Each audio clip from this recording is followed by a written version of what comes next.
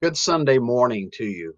Uh, God has blessed us with another Lord's Day, which means we've made it through another week, and we have the, the promise of another week that is lying ahead of us. Uh, we've got a lot to be thankful for uh, this morning as we are giving this day to the Lord and as we are pausing to uh, study from His Word together. And, and I trust that you will be finding an opportunity to worship God uh, this His day. Uh, as I said, we have many blessings to be thankful for. Uh, we need to be praying for our nation as we look and hope to be turning the corner. Uh, we need to be praying for those who are in harm's way, praying for those in different parts of the world who are not as fortunate as we are during this time, who are uh, without food and without access to medical services, without their daily uh, needs. And we need to be praying very much for them. But we have our health. Uh, we have our homes. We have our our faith and our family. Uh, there have been some great blessings this past week. Uh, some who have been tuning in and have been joining us in our study on a regular basis uh, have a great grandbaby uh, to to enjoy and to thank God for.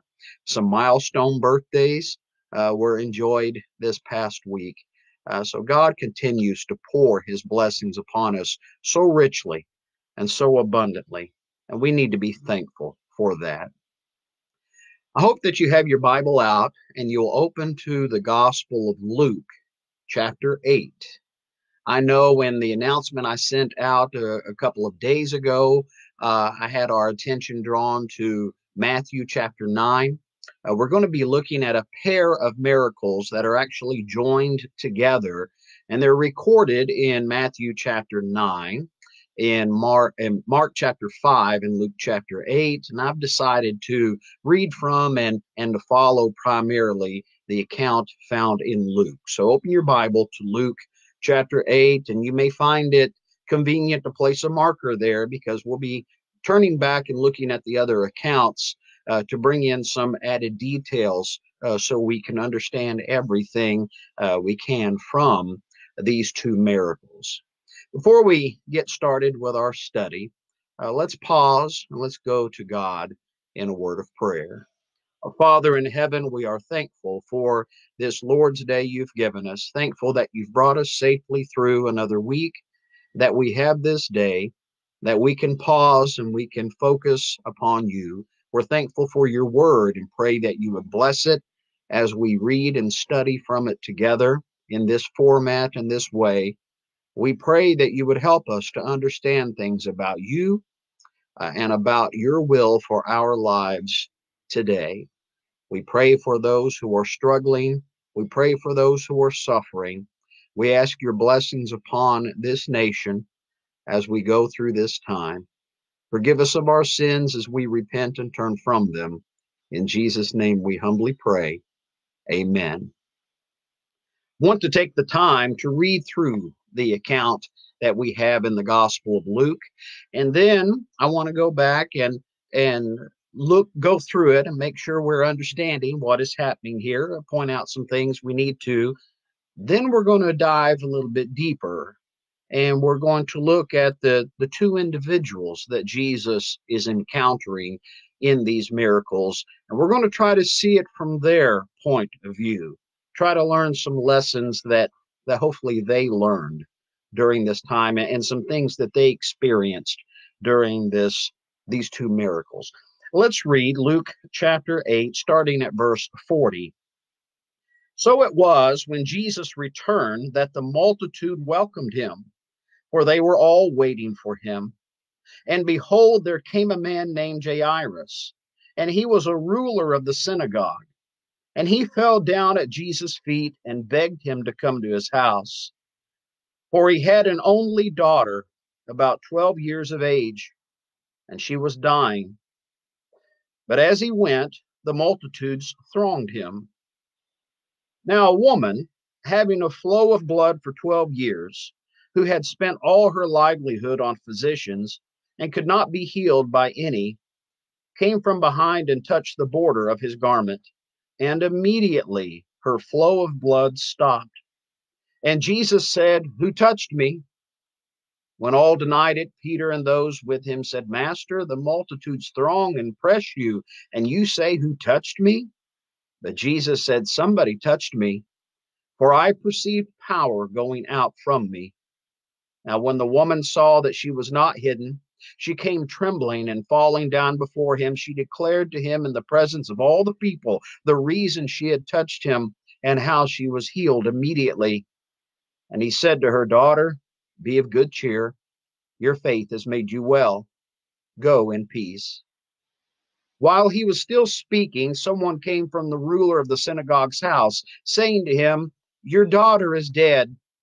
Do not trouble the teacher.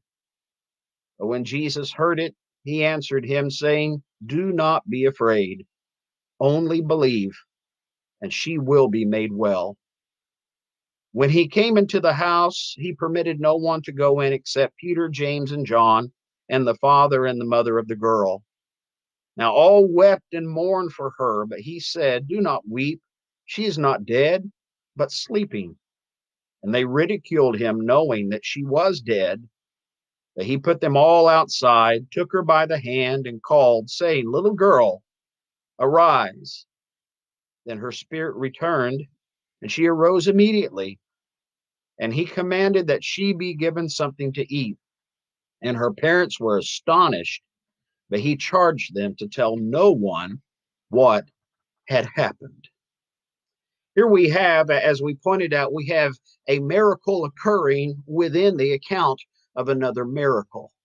Uh, they are joined together by the synoptic gospels matthew mark and luke and and there's a reason. There's got to be a reason that they're joined together and we're going to explore that in a moment. But first i, I want us to look at the the miracle here. I want us to see the action see what's happening here and and introduce the people who were involved the text in luke says that jesus and his disciples arrived from the other side of the sea of galilee it was there that Jesus had cast the legion of demons out of uh, the man, and they went into the swine and they rushed down the, the steep place and drowned in the sea. And the people there begged Jesus to leave, to go away. Well, when he gets to the other side, comes back to Capernaum, what an opposite reaction he has from the people there. He finds that a multitude has gathered and they're waiting for him to come back and they're welcoming him back. Luke proceeds immediately to introduce Jairus. Here is a man that comes to Jesus in desperation. He is identified as the ruler of the synagogue.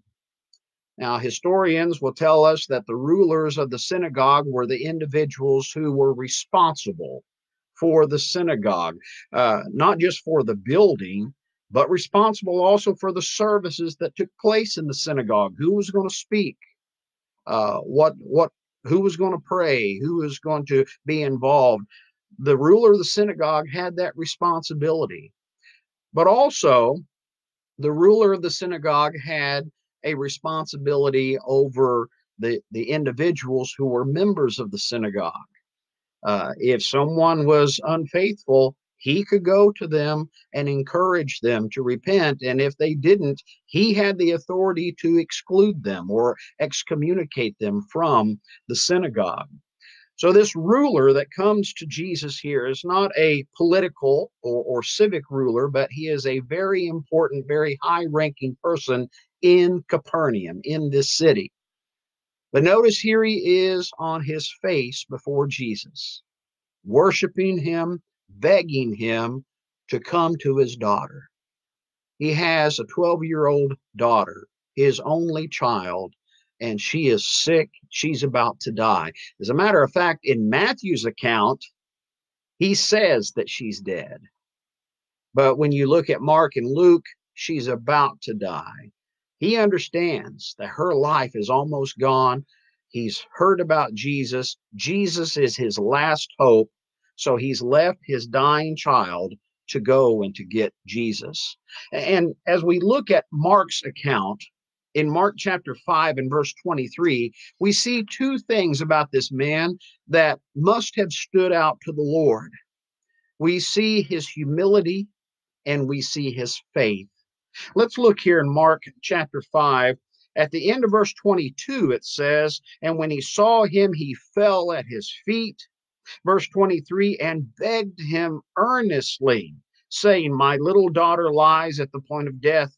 Come and lay your hand on her that she may be healed and she will live. A combination of two important things there his humility, falling before Jesus, and his faith. Come and lay your hands on her and she will live. Is it any wonder that Jesus gets up and goes with him? These two things stand out to the Lord. And so he follows this man, and along the way, a woman is introduced to us. We don't know her name, but we see that she is likewise in a desperate situation. She is suffering physically from a condition that has lasted as long as this daughter has been alive 12 years she's been suffering from a an issue of blood or a hemorrhage of blood uh, according to Leviticus chapter 15, this would have rendered her unclean. No one was supposed to touch her. She was not allowed to go to the temple to the temple to worship. She lived in a perpetual state of uncleanness for 12 years. The text also tells us that she'd spent all of her money on doctors. She hadn't gotten any better. And Mark's account tells us that, in fact, she was getting worse. She's in a desperate situation. She hears about Jesus. She catches up to him in the crowd, and she believes that if she could just reach out and touch his clothes, she'd be healed. Remember, she's unclean. She doesn't want to make him unclean. If she could just touch his clothes, she'd be made well. She does. And the text says immediately the blood dried up Immediately she was made well, but also immediately Jesus knew what she had done. And he stopped and he had her to acknowledge what had happened. Uh, he told her that her faith has made her well and gave her a blessing that she was to go in peace. At that moment, messengers came from the house of the ruler of the synagogue and told him, Your daughter has died. Don't bother the teacher anymore. There's nothing else he can do for you now. Let him go his way. And Jesus says, Don't be afraid. Only believe. She'll be well. And they go on to his house. And when they arrive at the house, they they ha- they enter into a, a scene that would have been strange for you and I. The house is full of people who are mourning and wailing loudly. As a matter of fact, Matthew's account, Matthew chapter 9, verse 23, says that they were flute players and the noisy crowd wailing.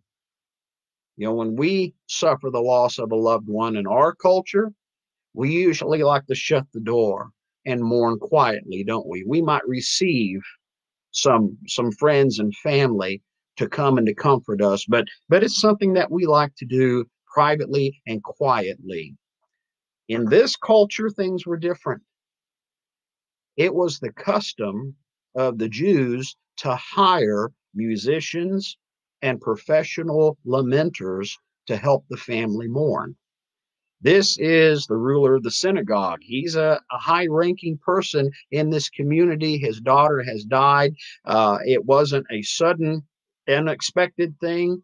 Uh, they were ready to spring into action. They showed up there. By the time Jesus got there, they were already involved in their mourning. And Jesus says, "You're not necessary. This isn't necessary. Your services are no longer needed here." She's not dead. She's just sleeping. Well, they all knew that she was dead. So they laughed at Jesus. They ridiculed him. He put them out of the house, went in, took the little girl by the hand, told her to arise, and immediately she rose up. The parents were astonished. They were amazed, rightly so. And Jesus commanded them not to tell anyone, But how could something like that be kept a secret? There was just a house full of people there who knew she was dead. Next thing they know, she's alive. Uh, it's no wonder Matthew 9 26 says that the report of this event went into all that land. What an incredible pair of miracles that happened here on this account, on this occasion. What I'd like to do, I'd like for us now to dig a little bit deeper and to, to look at these miracles primarily from the point of view of the ruler of the synagogue and the woman who was healed by Jesus. Uh, we could and probably should make some observations about this miracle uh, that that it was done for a purpose, not to benefit uh, the recipients physically or emotionally, although that that was a benefit. The miracles were done to prove that Jesus was the Son of God, to, to prove that he was speaking the truth, to prove that the kingdom had indeed come near unto them. Uh, there are some things that are very typical about these two miracles that, that are typical about all the Lord's miracles that are not typical of miracles that are claimed today. Notice this woman was healed immediately. This girl rose up immediately. As you study the miracles that Jesus performed while he was here on this earth, that word immediately shows up all the time. It wasn't something that was hidden. It wasn't something that was gradual. It was a miracle when Jesus healed. It was a miracle. there's no doubt that these miracles occurred. Let's dig a little bit deeper. Let's let's let's consider some things. I've been studying these miracles this past week. I want to share some things with you that that have come to my attention in studying this out. First, Let's address the question why are these two miracles put together? I've got a lot of books back here that help me in my study, and I have several books that address the miracles of Jesus. I noticed that one of them treated these two miracles separately. But for the most part, these miracles are studied the way they've been recorded and preserved in Scripture. They're together. That tells us that that they belong together. The Holy Spirit put them together. But why do they belong together? What do they have to do with each other? Well, this thought came to my mind as I was studying. Both of these individuals were in desperate situations. Neither one outranked the other. While the ruler of the synagogue had a very pressing need, his daughter was about to die. There was a woman who'd been carrying a burden for 12 years. And this woman had been carrying this burden for 12 years. She was in a hopeless situation. She was only getting worse. And here's a man who's about to lose his only child. You know what this miracle reminds us of? The fact that it reminds us of is that when you and I are suffering, we are not the only ones who are suffering. When you and I are having the worst day in our lives, guess what? Someone else, somewhere else, is having it too. someone else is having the worst day in their lives. We do not suffer alone. We're not the center of the universe. We are not the only people in our world that matter. Now, when we are suffering, when we do have that worst day ever, we can approach it one or two, one of two ways.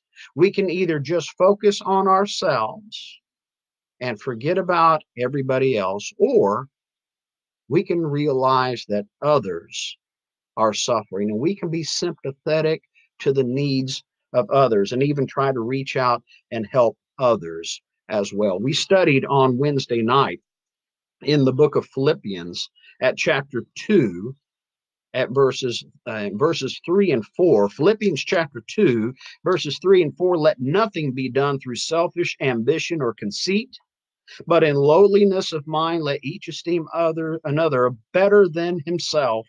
Let each of you look out not only for his own interest, but also for the interest of others. This wise admonition does not go away when we're in a desperate situation. We need to be remembering that we're not the only ones. I ran across a saying when I first started preaching the gospel, ran it in a couple of bulletins. Uh, I forget the exact wording, but the idea of it is if you help somebody else row across the lake, you find that you get to the other side yourself. We are not the only ones experiencing life. We're not the only ones who are suffering. There are others who have needs as well.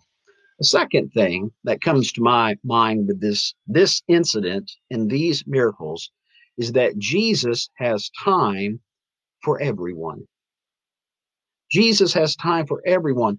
There were a lot of people who were making demands on the Lord's time and attention. Remember, he shows up, he sails with his disciples back across the Sea of Galilee, and there's a welcome party there. And they're not just, just waiting to welcome him back home. They want his time and his attention. He's been performing miracles. So everybody was wanting his time, wanting his attention as he was walking on to uh, the home of this this ruler of this synagogue. This says the crowd was pressing in on him. They were thronging him, pressing in on him. That Greek word is the same word that is used for for when a prisoner is apprehended and arrested, and the the, the soldiers lay their hands on him. When I think about this crowd that is making its way to the the house of Jairus, I don't see them as just strolling along down the sidewalk. I think about the mall at Christmas time and how you had to fight your way through. Do you remember being in a crowd? It wasn't so long ago we could do that. That's what this was. This was a, a, a crowd. They had to work their way through the crowd to get to where they were going. Everybody's pressing in on Jesus, but but Jesus made time for everyone in Matthew's account of this miracle, Mark and Luke go straight to Jairus, coming with the request. But Matthew has Jesus healing a lame man, calling Matthew to follow him, Jesus and his disciples eating with tax collectors in the at the house of Matthew where he's criticized there by the Pharisees answering a question about fasting from the disciples of John the Baptist, going to the house of this ruler of the synagogue, stopping and addressing this woman who came to him and touched him to be healed. You know what we see as we read Matthew, Mark, Luke, and John? The kingdom indeed was coming, and the kingdom was open to everyone. It didn't matter who you were, the kingdom was open to everyone. And you know what? It still is. It still is. The Lord has time for everyone. And you know what that means? If He has time for everyone, the Lord has time for me. Yeah, it's it's easy to fall into that trap of I'm lost in the sea of humanity and, and, and nobody cares and God doesn't care. And the scriptures simply Joe, that isn't true. The Lord has time for me. The Lord has time for you. Now, the question is do you have time for the Lord? Don't tell me you don't have time for the Lord. That's all we got now is time. The Lord has time for you. Do you have time for the Lord? The third thing that I see in these two miracles is that Jesus acknowledges and encourages faith in others. Jesus was performing miracles, and these miracles made people marvel. But it also caused some people to have faith. It caused some people to have faith to Jesus. Some people came to Jesus out of curiosity. Some people came to Jesus with loved ones to be healed, but there were some people who came to Jesus out of faith because they believed that he was who he said he was and believed that he could do the things that people were saying he could do. And it was those people that Jesus noticed. Those people got the Lord's attention. J- J- Jairus was a man of great faith. Let's go back to Mark chapter 5 and verse 23. And I want to read this passage again. This is Mark's account of when when this man, this ruler comes to Jesus. When he saw him, he fell at his feet, verse 23, and begged him earnestly, saying, My little daughter lies at the point of death. Come and lay your hands on her, that she may be healed, and she will live. Notice this man didn't come to Jesus and say, If you can do something, would you please help? He didn't come and say, I hope that you could do this. He came and said, I know you can do it. My daughter needs you. I need you, and I know you can do this. This is interesting. As we read the gospel accounts, most of the time we have the disciples following Jesus, don't we? You know what we have on this occasion? We have Jesus following this man. Why? He's a man of faith. He's a man of faith. And his strong faith is contrasted even with those of his own household. Because later on, there are going to be messengers sent from his house who are going to come to him and say, Your, your daughter is dead. Do not trouble the teacher. What does that mean? That means he can't help you anymore. Let him go and help somebody else. It's too late. He can't do anything. Yeah, he can. But they didn't believe it. When he got to the house, the mourners who were there, he said, She's not dead. She's only sleeping. They laughed. They ridiculed him. They didn't believe. Who's the man who continued to believe? Jairus. He was a man of great faith. And, and how about this woman? How about the incredible faith that she had? Put yourself in her position for a moment. She's not a tax collector, a notorious person, and she's not the ruler of a synagogue. She's not a prominent member of the community. For one, she's a woman. And in that culture, that put her a notch below she is unclean because of her physical condition. She's not allowed to touch anyone according to the law of Moses. Compared to Matthew, compared to and, and Jesus is eating in his house compared to this man that comes and, and falls before Jesus and Jesus gets up and walks away with him. Co- compared to him, she's a nobody. She doesn't even rank. She does she doesn't even register. And as as she sees Jesus go away with this important man, how many people do you know who would be tempted to say, "Ah, oh, forget it," and turn and walk away? But she didn't. She didn't. She worked her way through that crowd. She worked her way up to Jesus and she reached out and touched the edge of his clothes. Why? For faith. Look in Mark's account of, of this incident and Mark chapter 5, verses 27 through 29. When she heard about Jesus, pause right there, she had faith. When she heard about him, she believed it. She had faith and acted out of that faith. When she heard about Jesus, she came behind him in the crowd and touched his garment for she said, If only I may touch his clothes, I shall be made well.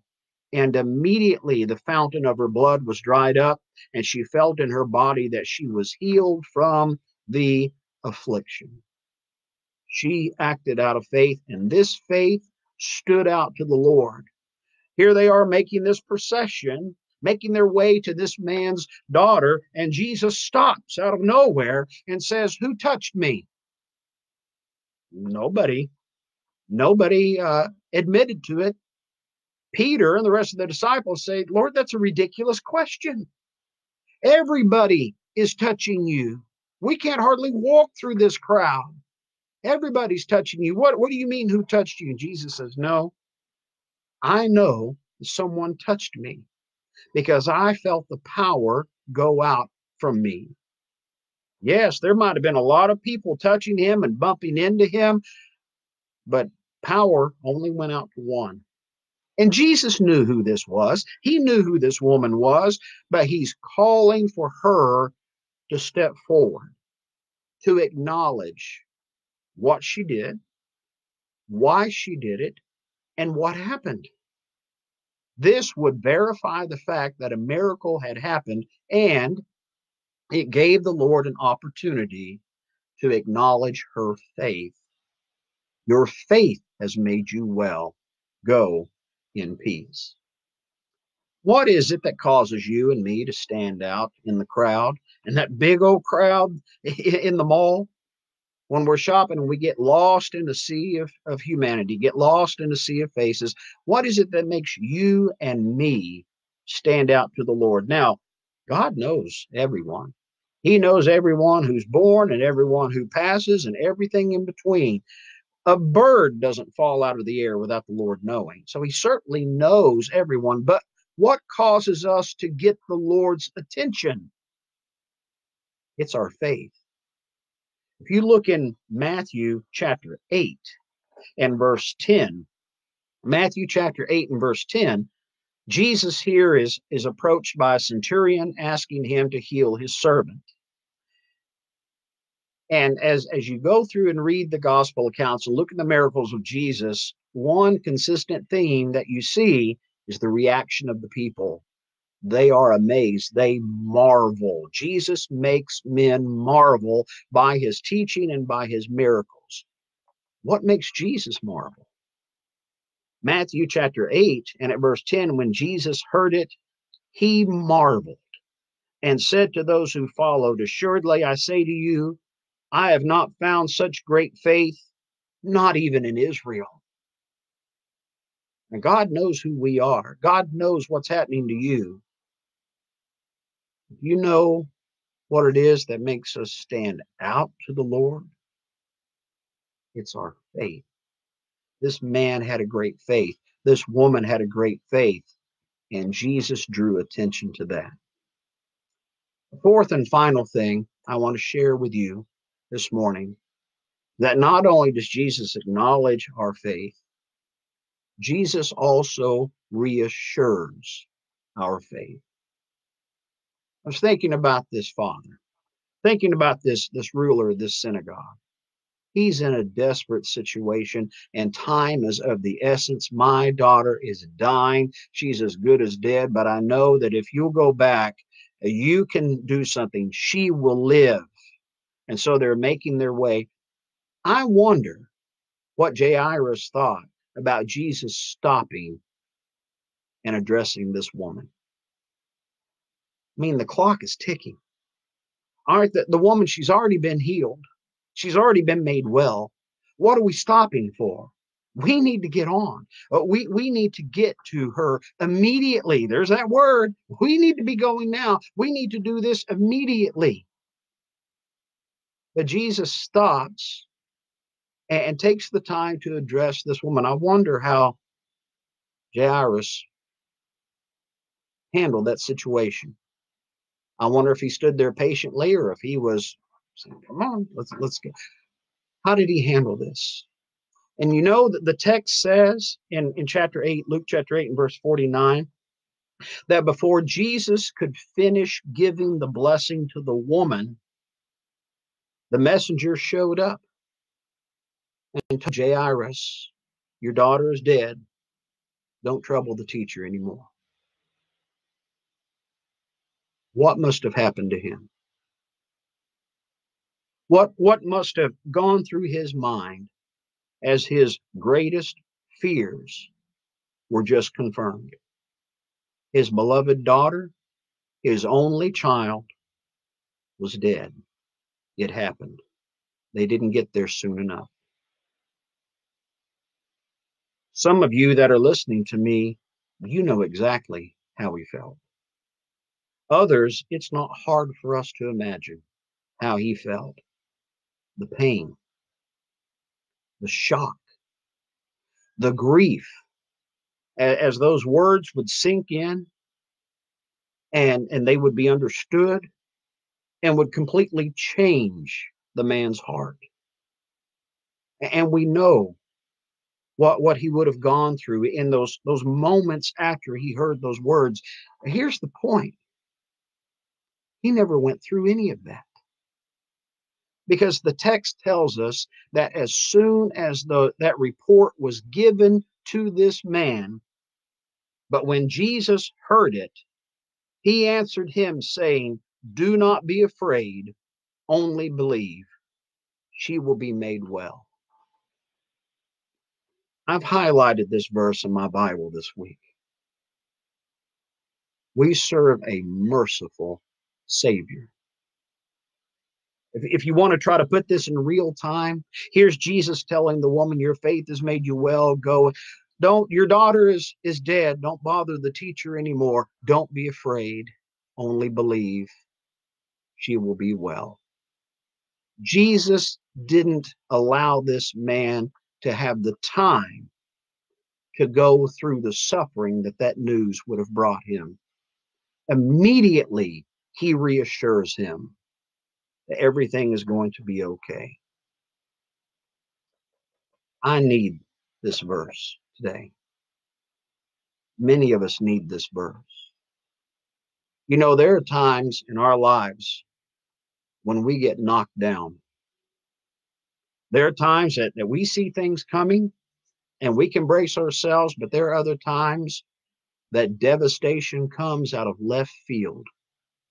We don't see it coming and it knocks us to the ground. And we don't know how we're going to get up.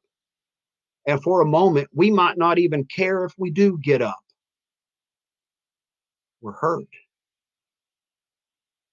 We're hurting. Everything's been stripped away. And Satan is there with his message. Don't bother with Jesus anymore. He hadn't helped you. Give up on him. Don't bother with that anymore. Brethren, listen to me. It's at times like that. And if it hasn't happened in your life yet, it will. It's at times like that that our faith needs to be strong enough that we can still hear the echo of those words spoken by our Savior some 2,000 years ago. Don't worry. Don't be afraid.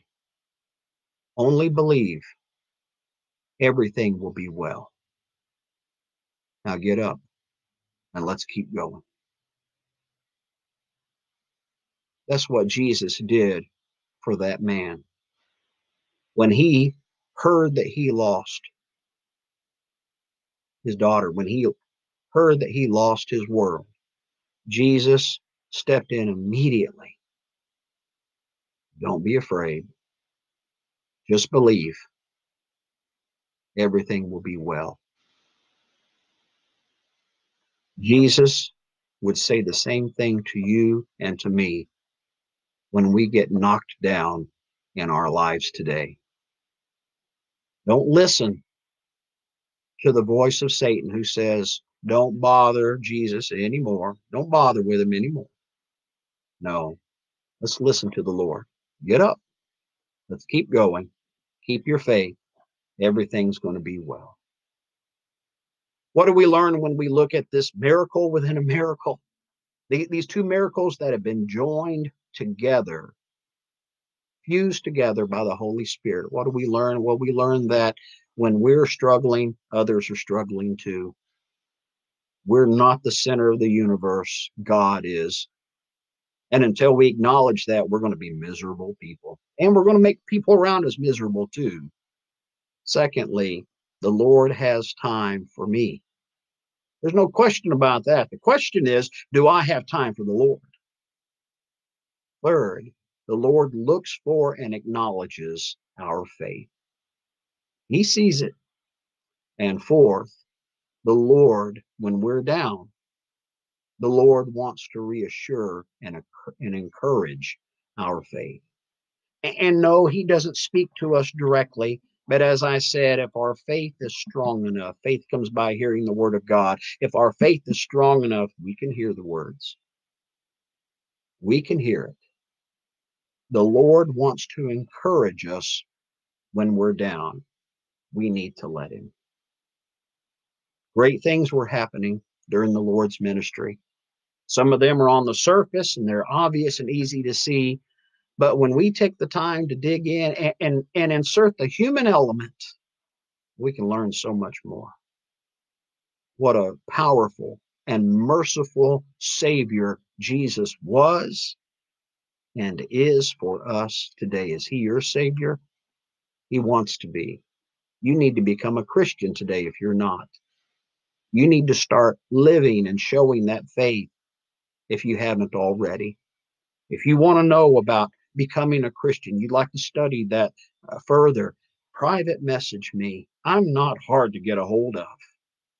I would love to be able to help you to study and to know what what the Lord requires to be a Christian. If you are a Christian and you get knocked down, don't stay down. Get up. Keep going. We're going to make it there together one day. Thank you for following along, studying together with me. Lord willing, on Wednesday night at 7 o'clock, we'll continue our study of the book of Philippians. We'll be in chapter 2, and we'll look at verses 12 through 18, and we'll talk about shining as lights in the midst of a crooked and perverse generation. That's always timely. So that's where we'll be, Lord willing, on Wednesday night. Until then, I hope you have a great week. And I hope that you will let your light shine before others. And I hope that you'll remember that we serve a merciful and powerful Savior. Thank you very much.